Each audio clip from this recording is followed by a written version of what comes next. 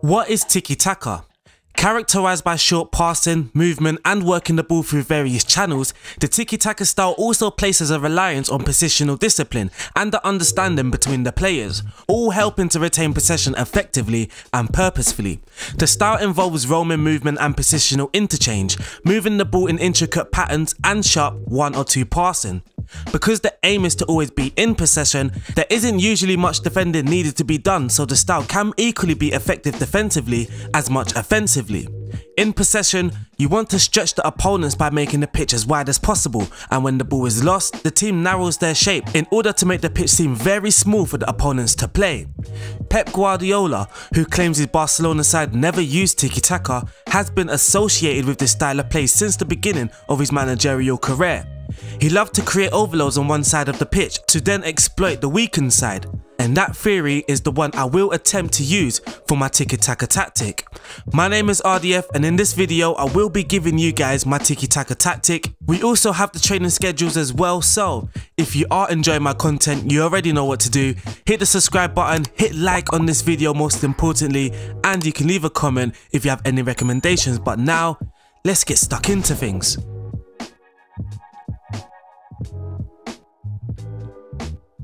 From build up, the aim is to have a numerical advantage in front of the first line of the opposition's press.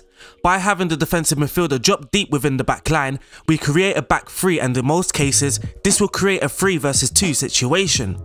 If the opponents choose to press with 3, due to the fullback staying relatively deep during the first stages of the build-up and the use of a super keeper, the extra player, the numerical advantage is always on, helping us ease out of our first stage of build-up. Therefore, the keeper being good with his feet is a must. On the ball, he must be willing to dribble out with it, inviting pressure to allow a player to find space now vacated by the defensive player. That space was not free before the keeper invited the press, and one of the central midfielders can now look for space between the first and second line of pressure to receive the ball. Once the first line of the opposition's pressure is broken, the fullbacks will then advance down the flanks with both wingers inverting occupying the half space. The fullbacks in the system are key. They have a job to maintain the width during the 90 minutes.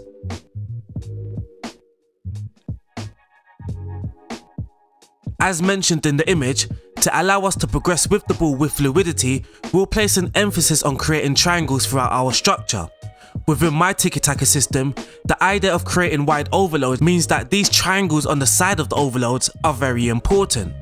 We look to overload one side of the pitch to progress play.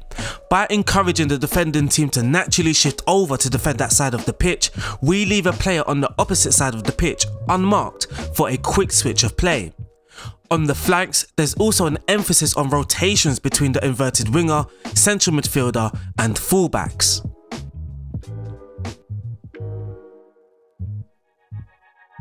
In the final third, we aim to create a 2-1-2-5 shape or a 2-3-5 with two centre backs, one defensive midfielder, two central midfielders and five attackers. To achieve this, the wingers must invert into central or half spaces to allow the fullbacks to make an overlapping run and join the line of attackers.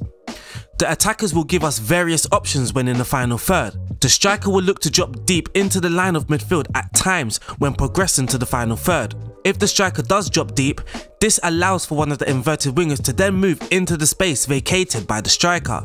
With players roaming, rotating and operating between the lines is vital for us to have our tiki-taka feel. Players in close proximity allows us to keep play intricate and enables us to keep a high tempo playing one or two touch passing.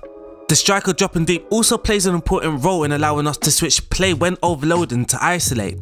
He must be disciplined with his positioning to allow us to use him as a constant option for switching play. Teams are likely to defend in a deep block against the tiki-taka style, assuming teams using the style are technically superior. So the fullbacks are also key in breaking down teams. Due to the attackers being narrow, that will force the opponents to defend narrow, so the fullbacks will need to understand when to attack any spaces out wide left by the opposition's defence. In this system, they will look to run in behind from deep and get a cross or cut back to put into the box. Out of possession, we've set our pressing trap or trigger out wide. Once the opponent's wingbacks receive the ball, we'll begin our intense pressing to try and win the ball back. The purpose for trapping opponents out wide is so they cannot escape the pressure easily. For example, a right wingback cannot turn out wide to his right because of the touchline, effectively acting as an extra defender for us. If the right wingback looks inside, the pass has to be precise or risk losing the ball in a costly area. And lastly, we'll look at this image created by Eric Laurie, which you can find on Twitter, so make sure you go and follow him as well. His Twitter handle will be in the description, but you can also see it in the image. So for the advantages in the 4-3-3, which is the shape that we are using, three central midfielders enhances the ability of the team to control central areas and dominate the midfield. A holding number 6 allows fullbacks more attacking freedom. There's also natural creations of passing angles and offensive triangles. Free attacking players can pin back the opposition's fullbacks. It allows us to be fluid in system changes so we can change to a 4-1-4-1 or a 4-5-1 and flexibility in off-ball positional rotations in possession. For the disadvantages, we can concede space on the wings if wide players are not disciplined while out of possession, the lone striker can often become isolated, complex decision making and positional discipline required by the midfield trio, vulnerability in defensive transitions if number 6 gets pulled out of position, and lastly potential lack of options in opposition penalty area if wingers stay wide and attacking mids don't push forward. So that there wraps up this little description and analysis. We're now going to go into Football Manager. We're going to look at the tactic in a little bit more detailed. We're going to look at the results which was tested with two teams. And then lastly, we're going to look at the training schedules. So now let's head over to Football Manager. So here I'm currently in my save with Brentford in the championship but I do also have a full season tested with Leganes in the Segunda division over in Spain so I try to still use decent teams within a division but I try to not use the very best team and also the very best teams in the country so for example a Liverpool or a Barcelona I instead chose Brentford and Leganes. So what we're going to do, we're going to go through the team instructions, the player instructions, move on to the results and then the training schedules. For the team instructions, our mentality is on positive, the attacking width is set to fairly wide so we are kind of stretching the play but not too wide and we aren't too narrow either. For the approach play, we are going to focus down the left and down the right. This is a bid to try and create some overloads in wider areas. And we are also going to play out from the defense, which is vital when playing a tiki-taka or a possession based style. The passing directness is much shorter so we are going to be retaining the possession but the tempo is slightly higher so we are going to try and get the ball from the defence to the attack fairly quickly by using one touch or two touch passing. In the final third, we are going to be sending in whip crosses instead of low crosses, which is what I usually go for, and we are going to be working the ball into the box. If you want more possession, you can simply use dribble less, though you can be taking away some effectiveness in attack. In transition when the possession has been lost we are going to counter press to try and regain the possession as quickly as possible but when the possession has been won we are neither looking to counter or hold shape. I feel by leaving it off we can semi do both so we aren't necessarily going to counter as soon as the ball is won but if the option is there I believe the team will do so and also because we are retaining the possession, I don't feel that we'd needed to hold our shape either because players are going to be roaming around looking to collect the ball from each other. When the goalkeeper is in possession, the only instruction that he has is to take short kicks. For out of possession now, we are using a much higher line of engagement which can be dropped to higher when you are playing against the lesser sides. Sometimes it does work because you are easing off your press and that can invite a very defensive team or a very deep team to bring the ball out a little. We are also using a higher defence line, we are using a narrow defensive width and offside trap. For the pressing intensity we are using more urgent and we are going to be preventing the short goalkeeper distribution. So now for the player roles for the sweeper keeper, he's a sweeper keeper on the attack. You can see that he is going to dribble more once the ball is at his feet. So like I said in the little description analysis bit, I want our keeper to bring the ball out, inviting pressure because then that can create space for our players to then occupy themselves and of course our goalkeeper can find a simple pass.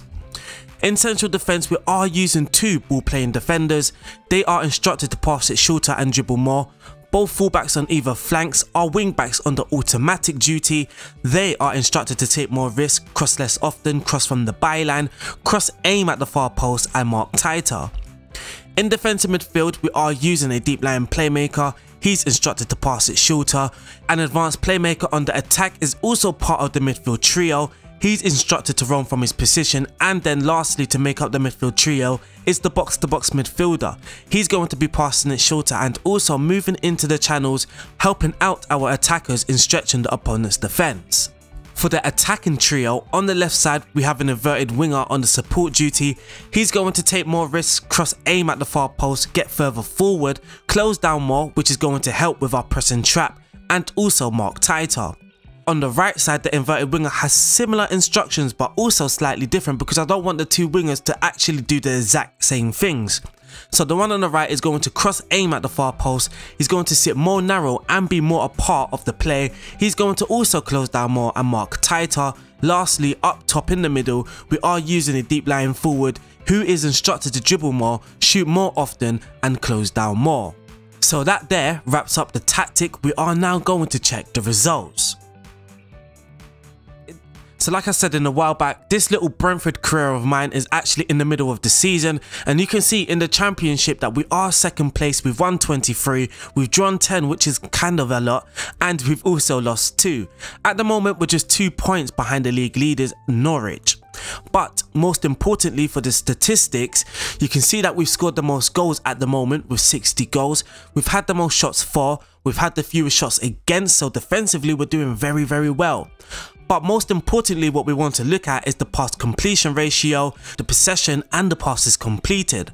For the best pass completion, we've actually topped that table with 91%.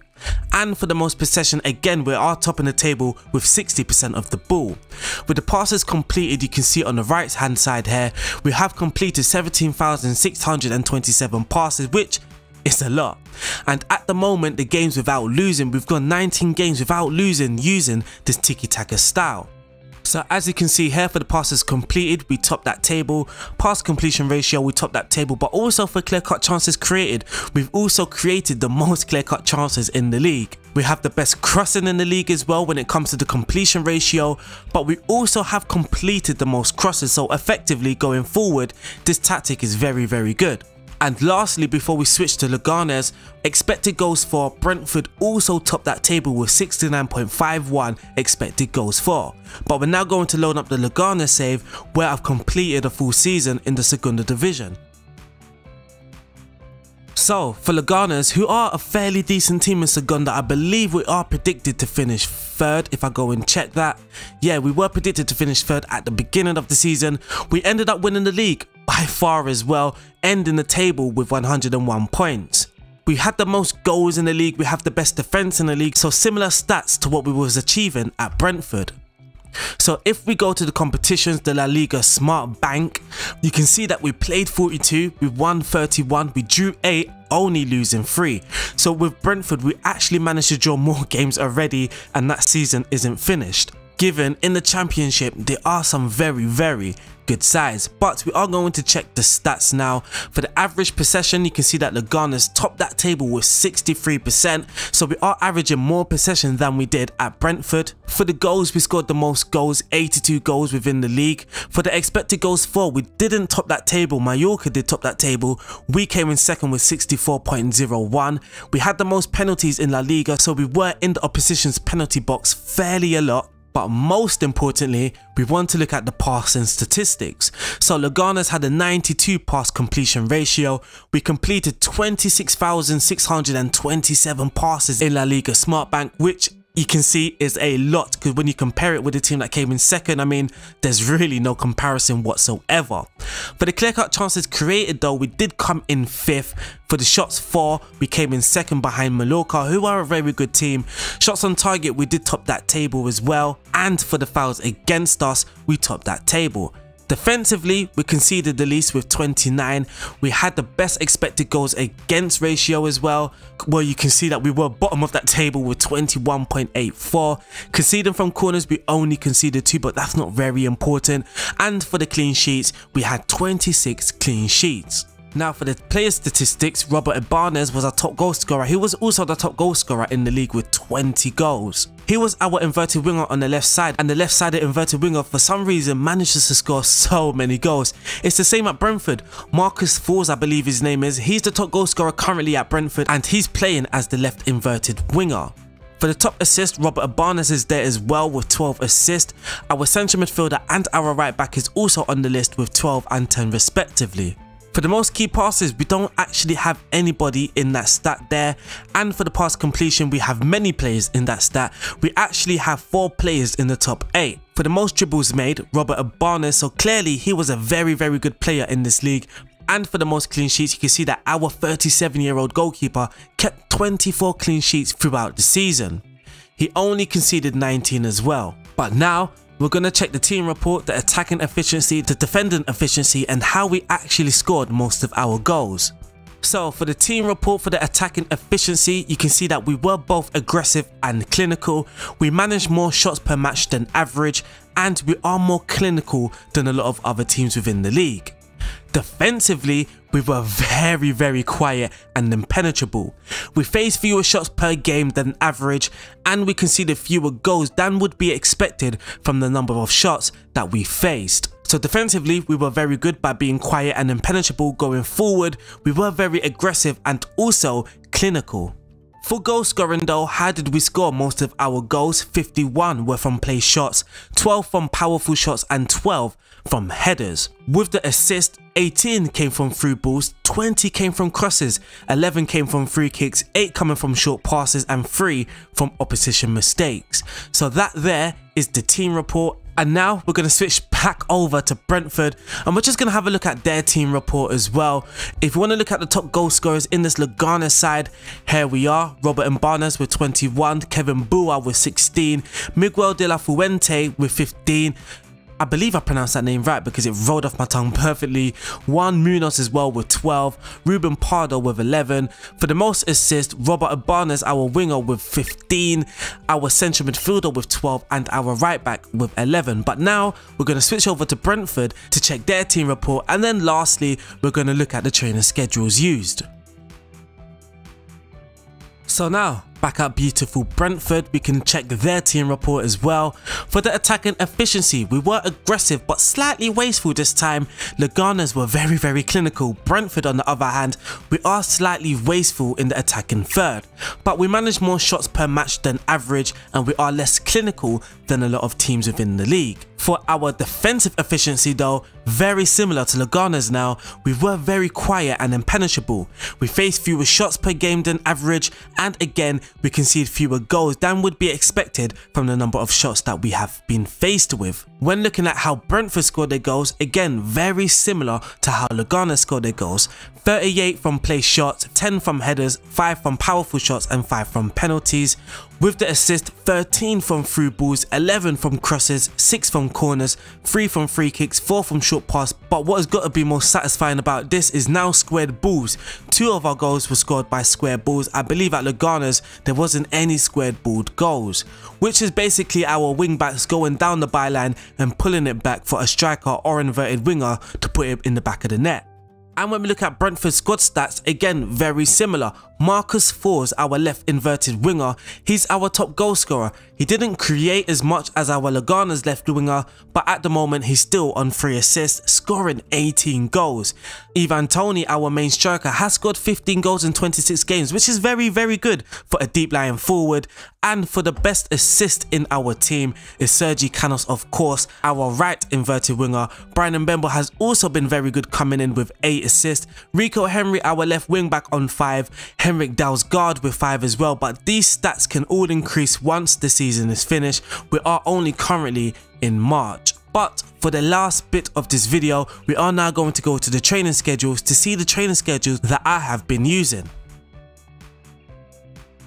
Now for the training, I did cop out a little bit. I just used my Pep Guardiola training schedules because I felt that that training schedule was very well tailored for this system. So on the Monday it's match tactics, possession, team bonding, Tuesday defending from the front, ball retention, Wednesday defending engaged, chance creation, ball distribution, on the Thursday attacking corners, teamwork, chance creation, Friday attacking movement before the match on Saturday, and then Sunday recovery and match review. When there's two matches during the week on the Monday, it's transitional press, chance creation and team bonding. Tuesday, attack and movement before the match on Wednesday. Thursday is all about recovery, match review and focusing on our ball distribution. On Friday, it's all about attack and movement before the match on Saturday. Lastly, on Sunday, it's all about recovery and match review. Unfortunately, that wraps up RDF's Tiki Taka system, the 4-3-3 tactic on Football Manager 2021. If you enjoyed this video, make sure you hit that like button, make sure you are subscribed to my YouTube channel, also leave a comment if you have any recommendations or any feedback. A big shout out to all my Patreons, but also a big shout out to Eric Laurie for allowing me to use his images. Make sure you follow him on Twitter. I will see you soon, stay safe, and peace out.